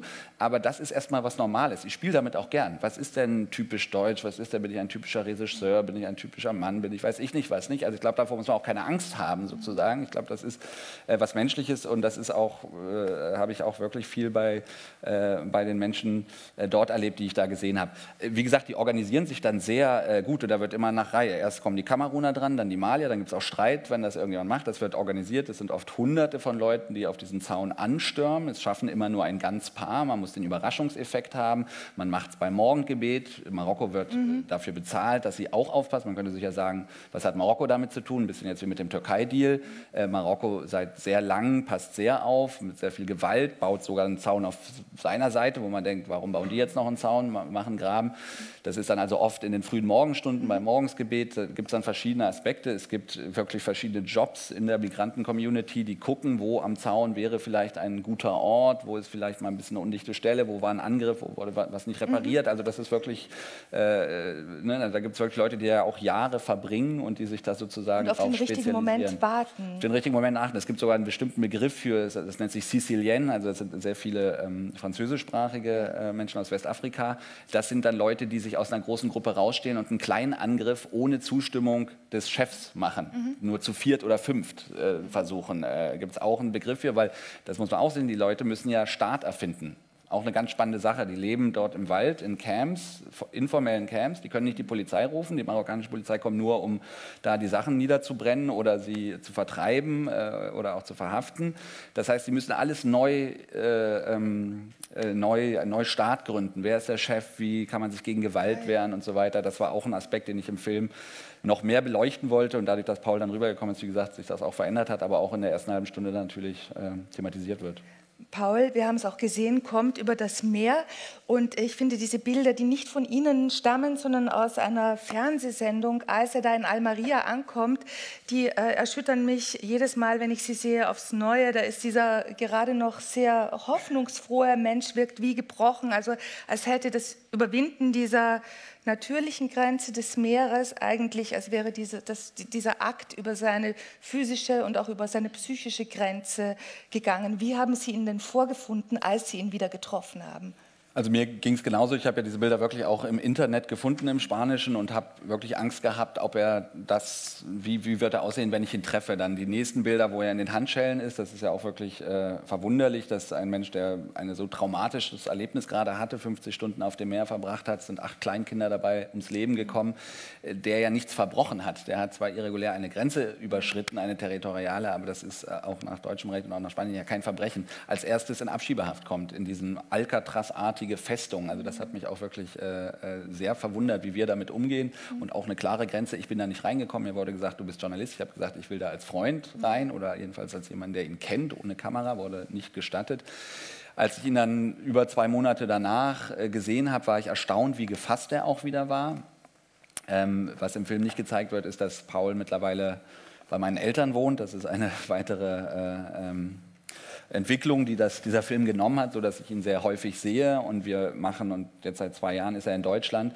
Und ich frage mich oft, kommt da noch was? Also er ist im Moment noch in diesem äh, Modus, ich bin noch nicht wirklich angekommen, mein Status ist noch nicht gesichert. Und da, das müssen Sie vielleicht besser sagen, oft Psychologen, man, man, erst wenn man dann angekommen ist, dann kommt plötzlich ganz viel zurück. Und solange ist man noch in so einem Modus der Anspannung, dass man auch sehr viel verdrängt. Manchmal habe ich das Gefühl, er hat eine Art, damit umzugehen. Er ist sehr, äh, sehr katholisch, sehr, sehr stark gläubig, dass das auch hilft. Äh, ich bin immer wieder verwundert, wie viel Zuversicht er an Sachen geht. Und das, was ihn am meisten, vielleicht noch als letzten Satz, was ihn sehr gebrochen hat oder was er am meisten Schwierigkeiten macht, ist die deutsche Bürokratie. Er hat immer das Gefühl gehabt, er wollte eigentlich auch nicht unbedingt Asyl beantragen. Das war gar nicht so in seinem, er hat Probleme in Kamerun gehabt, aber natürlich, es war hauptsächlich sein Vater ist gestorben, weil er keine Arbeit hatte, um ihm Medikamente zu kaufen. Er gehörte dem falschen Stamm an, hat deswegen schwierig ähm, Arbeit gefunden. Und hatte immer gedacht, wenn ich mich korrekt verhalte und Paul ist so ein ganz korrekter und Arbeiten machen, die die anderen nicht machen wollen, dann muss es doch eine Chance geben. Und dass er in diese Mühle gekommen ist hier und nicht weiß, wie es weitergeht, das zermürbt ihn extrem. Das, äh, darüber möchte ich mit Ihnen gerne noch weitersprechen. Ich würde nur tatsächlich an dieser Stelle gerne Herrn Professor Lammers äh, fragen. Sie haben auch mit traumatisierten Patientinnen und Patienten zu tun. Ähm, ist denn zu vermuten, dass bei diesem jungen Mann, der das jetzt offensichtlich oder zumindest ähm, gibt es keine anderen Anzeichen im Moment dafür, ganz gut überstanden hat, dass dann noch später was nachkommt, dass äh, eine Traumatisierung äh, später sichtbar wird? Also die Frage ist, was man unter Traumatisierung versteht. Ja, das wäre die also erste Frage. Ich, ich würde immer erstmal vom Störungsbild ausgehen, von der posttraumatischen Belastungsstörung. Das sind Menschen, die etwas unfassbar Schreckliches erlebt haben. Das können Naturkatastrophen sein, das können Gewaltverbrechen sein, Vergewaltigung und, und, und. Und die innerhalb einer doch eng umgrenzten Zeit auf einmal in eine Art von Schockzustand kommen, mhm. ähm, die wie gelähmt sind, die nicht mehr in der Lage sind, ihr Leben zu gestalten und die andauernd unter diesen, man nennt das Flashbacks, unter diesen wiederkehrenden Bildern leiden, bis zum Punkt, wo sie nicht mehr schlafen können. Dann fangen viele Männer an, Alkohol zu trinken, um es zu bekämpfen und die wirklich schwer krank sind. Äh, je länger jemand nach einem schwierigen Ereignis das nicht hat, desto besser ist die Aussicht, dass er auch mhm. das nicht entwickeln wird. Dennoch, das ist ein Lebensthema. Und wenn Sie unter Traumatisierung verstehen, der wird ein Leben lang auch mit solchen Situationen, dass der wieder daran denkt und das irgendwie versucht weiterhin zu verarbeiten, würde ich sagen, klar, das ist, das ist ein Lebensthema. Aber die Traumatisierung als Störungsbild, wie wir... Äh, es ist eher... Ist also, das ist dann eigentlich vorbei. Das wäre innerhalb von sechs Monaten bis ja. ein Jahr. Also ganz, ganz selten kann das mal sehr viel später kommen, aber auch nur bei Menschen, die vor dem Ereignis schon psychisch erkrankt mhm. waren. So, wenn man sagt, da war nicht bis dato ein doch relativ gesunder, psychisch gesunder Mensch, dann hat er eine sehr, sehr gute Chance, ohne eine schwerwiegende Störung dort das zu überstehen. Was im Grunde genommen erstaunlich ist, dass die meisten Menschen entwickeln keine Störung danach. Mhm. Das sind, es sind ja nur, was heißt nur, es sind ungefähr, sagen wir so 10, 15 Prozent. Mhm. Also wir Menschen haben eine ungeheure Kapazität, schlimme Ereignisse zu überstehen. Das haben wir in unserer Geschichte selbst gesehen. Mhm. Ähm, und natürlich, was extrem hilft, wenn man merkt, ich kann im neuen Leben Fuß fassen. Mhm. So insofern ist natürlich ist das furchtbar. Also man kann beschädigte Grenzen wieder errichten, wenn sie mal intakt waren. Ja, ja wir Menschen, ja, das, das, hat natürlich viel mit der primären Persönlichkeit zu tun, aber wir Menschen sind ja Weltmeister drin, uns anzupassen. Mhm. So, wir sind ja, und deswegen müssen Grenzen immer verschieblich sein. Wir sind ja keine statischen Wesen. Mhm. Sondern wenn wir, wir jetzt von einer Situation, also von dieser Situation auf einmal per Zauberspruch versetzt werden nach Köln auf dem Hauptbahnhof, würden wir nicht verzweifeln. Mhm. Oder nach Afrika, da würden wir sagen, gut, okay, wo habe ich jetzt einen Ansprechpartner, ähm, wo kriege ich das Essen her? Das heißt, wir haben eine ungeheure mhm. Fähigkeit zur Adaption. Mhm. Das macht uns ja letztendlich auch so, in Anführungsstrichen, stark. Ich möchte noch mal, ich sehe schon, die Zeit schreitet etwas fort. Ich möchte nun doch noch auf eine etwas anders gelagerte Frage äh, zurückkommen, Herr Preuß. Ähm, ich möchte gerne Ihre Situation als Filmer dieser Situationen in den Blick nehmen, weil die auch etwas mit Grenzen zu tun haben. Äh, Journalisten wird in der Regel immer mal wieder der berühmte Satz von Hajo Friedrichs um die Ohren gehauen, der da heißt, einen guten Journalisten erkennt man daran, dass er sich nicht gemein macht mit einer Sache, auch nicht mit einer guten Sache, dass er überall dabei ist, aber nirgendwo dazugehört. Ich setze jetzt mal statt Journalist Dokumentarfilmer ein. Wie war das so mit Ihrem Grenzen, mit dem Diesseits und Jenseits der Kamera? War das in diesem speziellen Fall als Grenze überhaupt je setzbar? Ja, also ich, ich sage Paul immer, er hat Glück, dass ich nie an der Film- oder Journalistenschule war und äh, diesen Satz nicht so oft gehört habe. Aber natürlich, äh, also ich habe ja Jura studiert und Europa studiert, äh, aber natürlich im Laufe meines, meines Berufes, ist, äh, ich habe ja jetzt auch schon einige Filme gemacht, einfach das Erfahren. Wie geht man denn damit um? Man ist ja öfter mit äh, Menschen, die in Not sind oder die irgendeine Position haben. Äh, ich habe in diesem Film, das ist ja auch ein Thema, was ich ja dann auch sehr stark in diesen Film einbringe, da sehr bewusst irgendwann entschieden, ich, ich durchbreche diese Grenze mhm. und ich, ich stehe da auch noch immer hinter und höre da auch einfach auf mich. Es war in diesem Fall in der Tat einfach die Frage, inwieweit helfe ich Paul auf seinem Weg dann irgendwann. Solange ich im Wald war, war ich ein bisschen von ihm abhängig. Er musste mir das alles zeigen, das erklären. Ich brauchte ihn, damit er die anderen, wie man so ein bisschen in dieser ersten Szene merkt, nämlich da einführt, die auch überzeugt. Die waren ja nicht alle begeistert, gefilmt zu werden. In Spanien war er noch in, im Heim, hatte dann noch einen Freund und dann wollte er weiter. Spanien ist in der Krise und dann Deutschland. Na Jakob, du kommst doch aus Berlin, wie ist es denn? Und äh, was läuft da so? Was habe ich da für eine Chance? Kannst du mir nicht helfen? Da waren Sie der Führer durch den Wald. Genau, da habe ich natürlich ja. auch äh, gezögert äh, und wusste in dem Moment, wo ich eine Entscheidung treffe, dass ich eingreife, dass ich das auch in den Film einbaue. Sie haben trotzdem immer mal wieder auch künstliche Grenzen zwischen ich, der Filmer, und du, der Objekt, das Objekt meines Filmes, äh, gebaut. Ich möchte abschließend auf diese eine Szene, die sehr faszinierend für mich war, ähm, zu sprechen kommen. Da sind Sie schon, also er wird, ähm, Paul wird verteilt nach Eisenhüttenstadt, gerät in diese Stadt per Zug und dann kommt aber nicht weiter, weil er hat das Geld, er hat den einen Euro für den Bus, der in diese Unterbringung führt, nicht dabei. Und Sie als Filmer tun nichts, Sie halten nur drauf. Also Sie hatten für diesen Tag beschlossen. Dafür hassen mich alle, wenn sie den Film sehen. Das ist ganz schlimm. Also es gibt immer so 70 Prozent hassen mich, 30 Prozent den Busfahrer, weil der ja auch, mal ein Auge zu.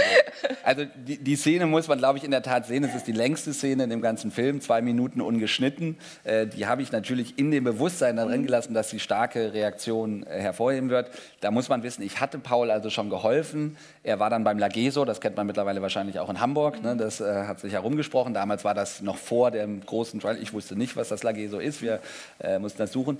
Und Berlin ist, wenn ich es mal einfach so sagen darf, zu blöd oder vielleicht liegt das an unserem föderalen System, einem Asylbewerber, der nach Brandenburg verteilt wird, ein Busticket für Eisenhüttenstadt zu geben. Weil das ist eine andere Stadt, ein anderes Bundesland äh, und das kriegt er nicht. Eigentlich hätte er natürlich das Recht, äh, die, er kriegt das Ticket nach Eisenhüttenstadt, den BVG-Ticket für, für Berlin, aber das schaffen sie nicht. Das ist auch sehr schön im Film gesehen. Da, apropos deutsche Bürokratie, da wird gefilmt, wie Paul auch schon in weiser Voraussicht. Das nach, ist unglaublich. Nach Paul, diesem Tick, nach diesem Tick, wie kommt, wie komme ich in Eisenhüttenstadt?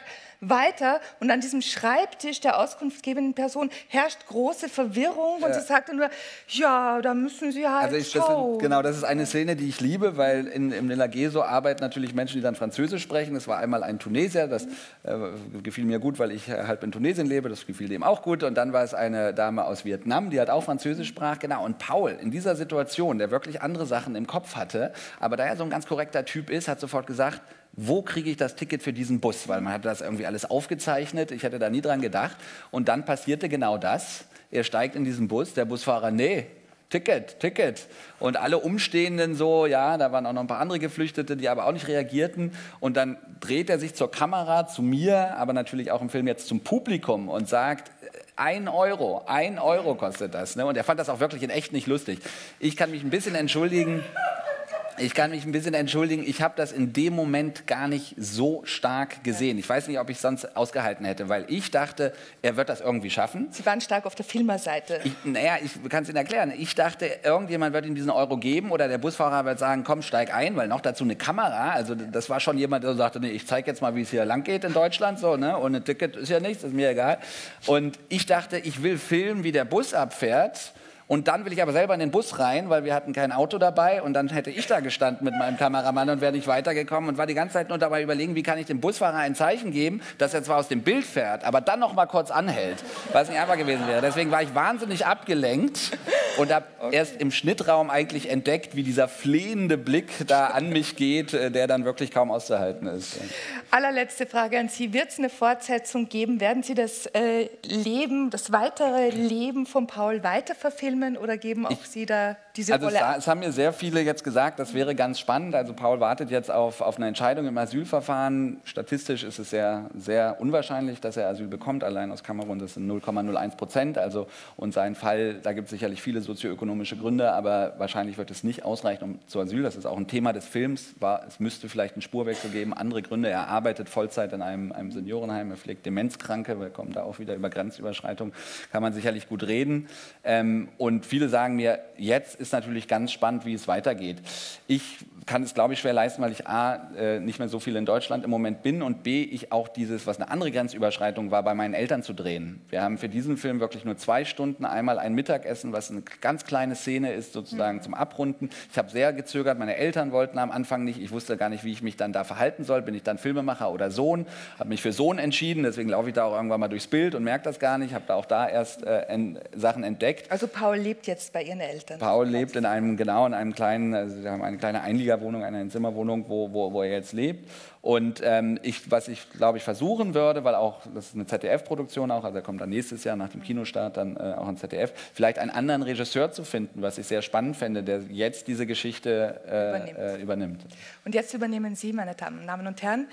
Äh, wir sind bereit für Ihre Fragen, Anmerkungen,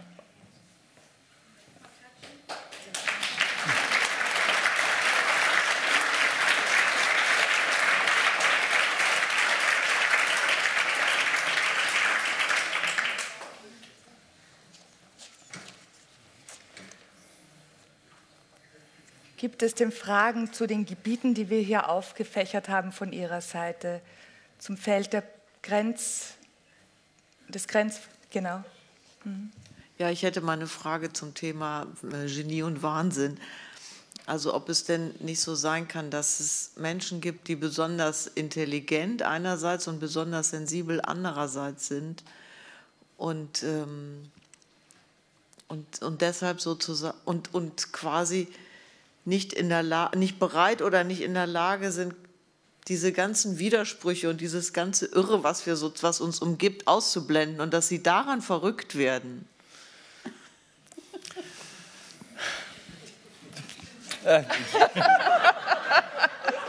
Warum jetzt nicht?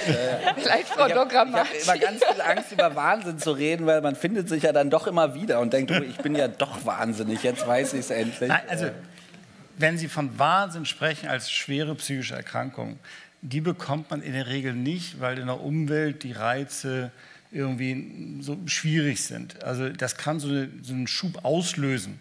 Aber jetzt zu sagen, na, der war so sensibel und die Widersprüche der Umwelt, die hat er so ernst genommen, dass es ihn zerrissen hat, ah, also würde ich, habe ich so in der Form noch nicht erlebt, was nicht heißen soll, dass nicht Umweltprobleme auch auf uns ähm, Einfluss haben. Aber ich, was Sie von auch sagten, dieses Wahnsinn und Kunst, das, vielleicht kann man das gar nicht erklären, Kreativität. Das klingt immer so schön, ja, man muss ein bisschen wahnsinnig sein, um kreativ zu sein. Ich weiß nicht, ob das wirklich stimmt. Wenn man das wirklich mal untersuchen würde, ob so viele Künstler wirklich psychisch krank sind. Also vielleicht Alkohol ein bisschen und ein paar Musiker halt, also Drogen, ja. Da auch. Ja, ja genau, weil ich sagen, am Bundestag in, in der Kloake findet man Kokainspiegel, der erheblich über den anderen Gebieten liegt.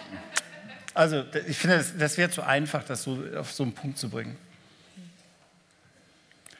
Und wenn ich es hinzufügen darf, ich finde es auch langweilig. Also mich als Psychiater, wenn ich ein Buch lese, einen Film sehe, mich interessiert nicht, oder Franz Kafka zum Beispiel, da könnte man Ewigkeiten da sagen, der hat eine Persönlichkeitsstörung und Psychosen, aber das ist doch vollkommen uninteressant. Also ich finde es vollkommen uninteressant, wenn ich ein Buch lese, mich zu fragen, ja, war der vielleicht psychisch krank, weil das, das ist ja das ist nicht Kunst. Das ist das Reduktionismus.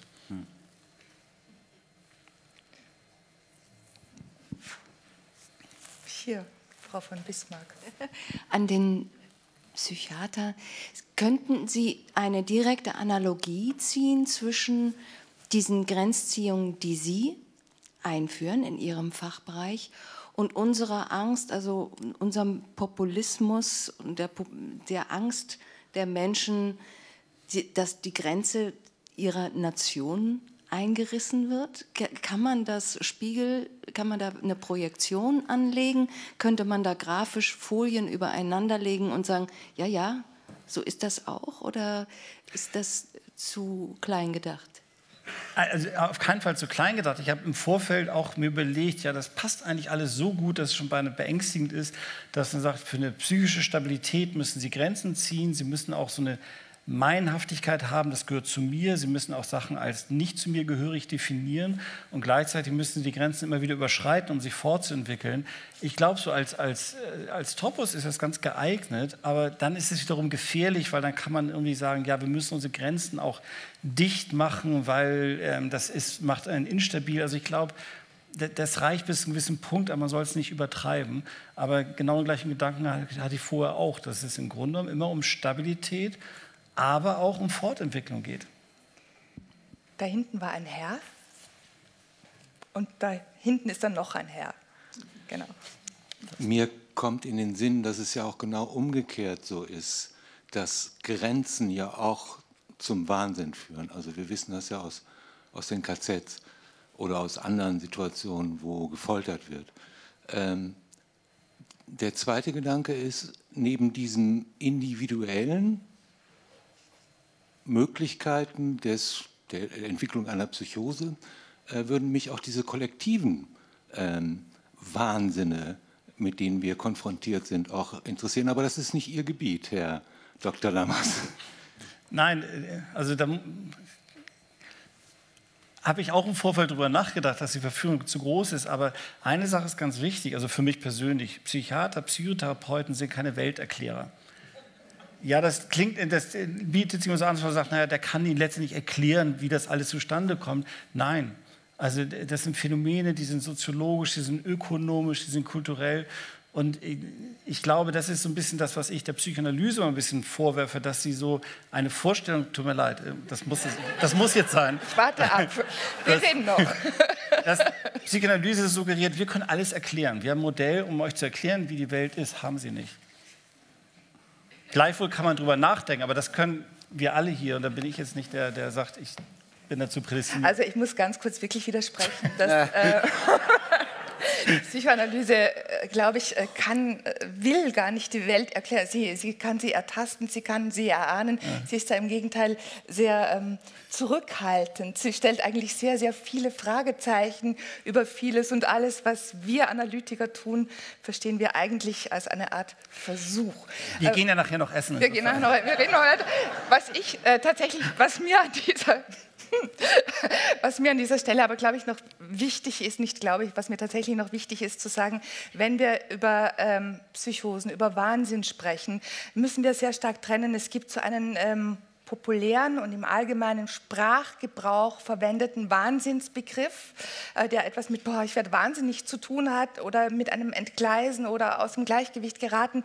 Und es gibt halt das Störungsbild. Und das ist ganz anders gelagert und da, ähm, das hat auch Grenzen, das hat äh, auch eine sehr klare Definition, was das eigentlich ist. Und da äh, dürfen wir auch unterscheiden. Also es ist, äh, ja, genau. Gibt es noch weitere Fragen? Ja, ich wollte jetzt gerne, äh, ich würde gerne an der Stelle mit Trauma und Reden weitermachen, aber ich möchte da ein anderes Thema. Äh, Heimat äh, ist ja doch, Sie wiesen darauf hin, auf die Nähe zum Heim. Aber gerade wenn ich sage, ich gehe heim, dann ist es sicher das Heim. Aber wenn ich jemand sage, ich muss ins Heim, dann ist es genau das Gegenteil. Dann ist genau das, äh, wo immer wieder äh, wir, ich bin selbst so ein Heimleiter mal gewesen, äh, ich, ja, aber wir haben immer versucht, das herzustellen, was wir als Heim, als Positives suchen. Aber nirgends ist es so zu schaffen, das Heimgefühl, das Heimatgefühl oder das Zuhause zu sein, herzustellen wie in einem Heim denke, vielleicht äh, können Sie dazu noch was sagen? Ja, es ist sehr schön, dass Sie das als Beispiel bringen. Das ist natürlich auch der Wunsch, ja, es ist auch eine Form von Projektion zu sagen, ein Kinderheim kann so etwas wie Heim und Heimat sein, ja, aber ich möchte noch mal darauf verweisen, dass in dem Begriff Heimat auch das Unheimliche und das Unheimische steckt, ja, und Freud hat ja zum Beispiel über das Unheimliche eine sehr schöne Abhandlung geschrieben, wo er sagt, das Unheimliche ist eben das Vertraute, was einem fremd wird auf einmal, ja, also so zum Beispiel im eigenen Zuhause eine knatschende Treppe, die auf einmal so ein Grauen erzeugt. Ja? Und ich denke, diese Verwandtschaft von bestimmten Begriffen ist da sehr, sehr interessant. Oder es gibt zum Beispiel die neue Heimat, Sie erinnern sich vielleicht. Ja, also, also da merkt man einfach, wo das alles hinführt. Ja? Und dass einfach versucht wird, hier etwas ähm, vielleicht zu projizieren oder aufzurufen, was eigentlich teilweise auch das Gegenteil sein kann. Mhm.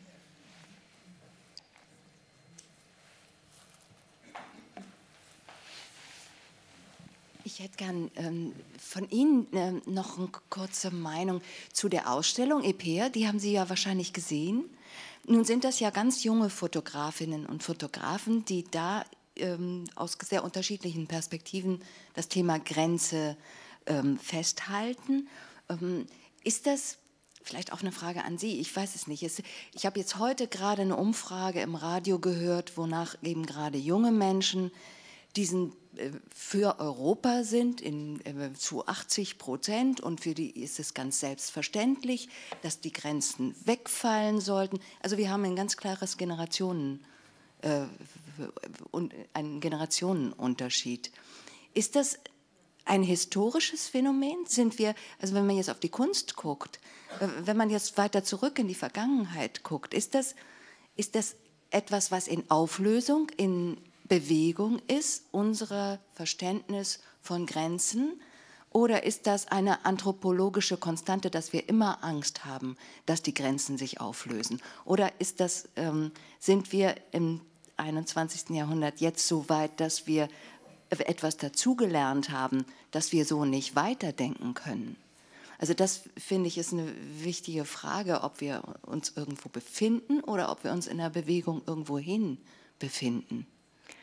Also ich glaube, wir können überhaupt nicht von einer Entwicklung irgendwohin sprechen, weil also wer hätte von uns gedacht, dass nach Schengen Grenzen wieder so eine Rolle spielen können? Ja, also ich glaube, das ist ein, ein Bedürfnis, was tief in, in, in, im Menschen äh, drinsteckt. Ja, wenn wir zurückschauen in die Jahrhunderte, immer wieder der Wunsch, Grenzen zu ziehen oder auch an alte Grenzen wieder ähm, zurückzukehren, ja, und die wieder nachträglich nochmal zu ziehen, ja. Und ich glaube, dieses Bedürfnis, Grenzen zu ziehen, sich abzugrenzen von anderen, ja, und auch auf seinem Territorium zu beharren, das ist vielleicht, ich kann es mir nicht anders erklären, vielleicht eine Art Urbedürfnis, ja. Also weil, wenn Sie sich mal auf die, wenn Sie sich mal vergegenwärtigen, wie die Welt eigentlich aussieht, wenn wir vom All auf die Welt blicken, sehen Sie da überhaupt keine Staatsgrenzen, ja. Und auch äh, Gebirge, Flüsse kennen keine Staatsgrenzen. Und trotzdem gibt es eben dieses Bedürfnis, ähm, Territorien zu beanspruchen. Und, und ich glaube, das, was wir jetzt erleben, ist tatsächlich vielleicht wieder eine Art Renaissance, aber es kehrt immer wieder. Und ich glaube, wir müssen uns verabschieden von dem, ähm, von dem Gedanken, dass es irgendwann eben überhaupt keine Grenzen mehr gibt, ja, weil wir schon auf dem besten Weg dahin waren. Das ist so meine Meinung,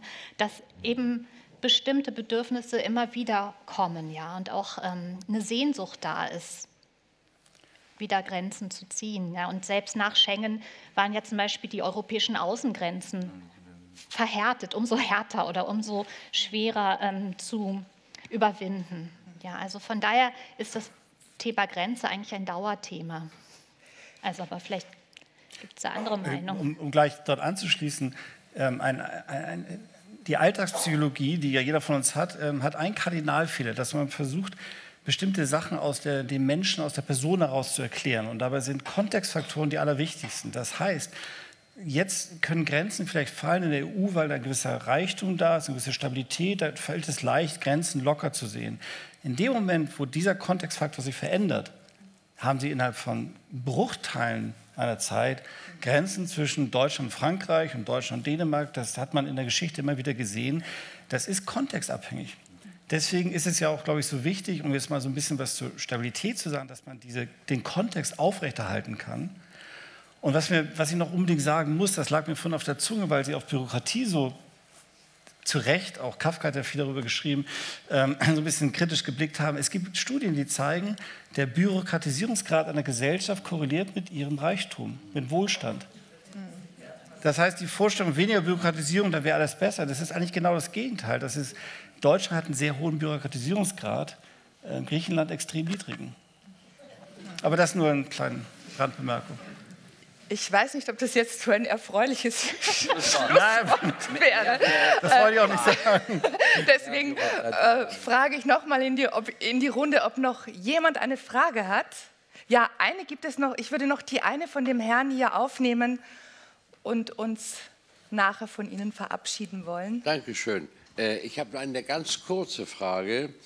Die Weltbürgerschaft, die Albert Camus für sich in Anspruch genommen hat, würde dieses Dasein äh, die Grenzen verändern?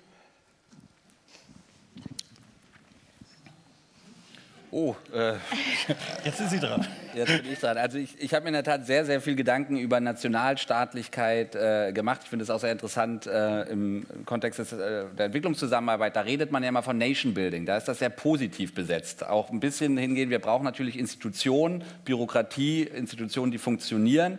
Äh, ich habe viele Freunde, die in der Entwicklungshilfe arbeiten und das, was man da immer versucht, ist, wir brauchen äh, Menschen, die sich zusammengehörig fühlen und das halt in einer Nation. Dann muss das nicht ethnisch geprägt sein, da sind wir uns hoffentlich äh, alle einig, aber wir brauchen irgendwie einen Raum, äh, wo wir Mutual Regard, wie Paul Collier sagt, ein ganz bekannter ähm, Migrationsforscher.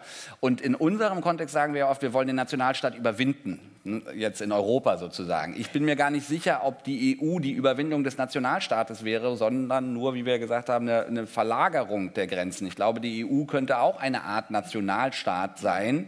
Wir haben ja in meinem Kopf Nationalstaat halt doch noch mit Blut und Boden, aber hm, die USA ist auch ein Nationalstaat und hat, hat diese Sachen nicht. Also die EU könnte auch Nationalstaat sein. Und ich bin auch, weil ich war, wie gesagt, ein Europäer und bin da dann doch auch sehr skeptisch geworden, ob nicht das wieder eigentlich auch zu einer Verhärtung führt. Und und ob man es nicht wirklich global äh, denken muss. Und ich glaube schon, ich mache in meinem Film eine so eine Überlegung, so alle 100, 150 Jahre habe ich den Eindruck, ändert sich etwas dramatisch, was, wenn man dann im Rückblick guckt, einem kaum vorstellbar kommt. Sowas wie Sklaverei kommt uns ja heute doch schon sehr äh, merkwürdig vor. Feudalismus, Hexenverbrennung. Ich gebe auch noch das Beispiel, bis 1977 durften Frauen in der Bundesrepublik nicht arbeiten ohne die Zustimmung ihres Mannes. Das ist für mich in meiner Generation unvorstellbar und das ist noch gar nicht so lange her. Und ich denke mir, was ist so in 100, 150 Jahren.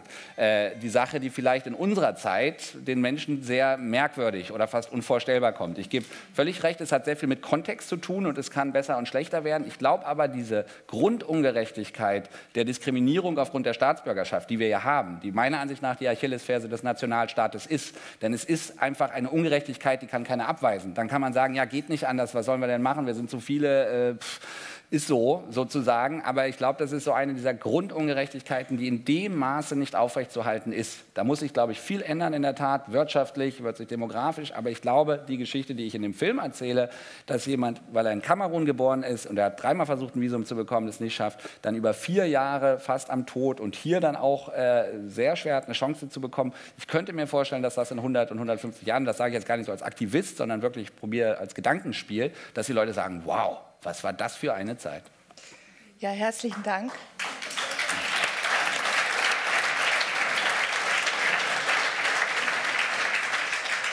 Sie sind jetzt auch eingeladen, unsere Gäste noch einmal im Foyer draußen zu treffen. Bei diesen Gästen möchte ich mich sehr, sehr herzlich bedanken für dieses sehr interessante Gespräch. Ich möchte es auch nicht versäumen, mich bei den Technikern, die diese Veranstaltung begleitet haben, zu bedanken und bei denen, die diese Veranstaltung überhaupt möglich gemacht haben, nämlich Kai Michael Hartig und besonders Hilary Schmalbach. Herzlichen Dank und bis gleich.